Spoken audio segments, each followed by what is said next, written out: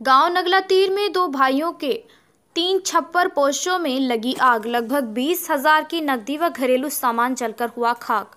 बयाना तहसील के गाँव नगला तीर में रविवार दोपहर अज्ञात कारणों से दो भाइयों के तीन छप्पर पोश रिहायशी घरों में आग लग गई। आग लगने से उनके रिहायशी छप्परों में रखा घरेलू सामान व नकदी जलकर राख हो गई।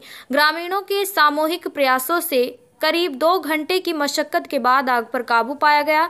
स्थानीय निवासी अतर सिंह कामर ने बताया कि गाँव के रामदयाल व सांवलिया वर्गीय दो भाइयों के तीन छप्पर पोषों में रविवार दोपहर अज्ञात कारणों से आग लग गई। आग में रामदयाल के दो छप्पर पोषों में रखी पंद्रह हज़ार की नकदी व सांवलिया के छप्पर में रखी पाँच हज़ार की नकदी समेत दोनों भाइयों के घरों में रखे कपड़े, बर्तन, अनाज, खाट, बिस्तर आदि जलकर स्वाहा हो गए। आग की लपटें उठती देख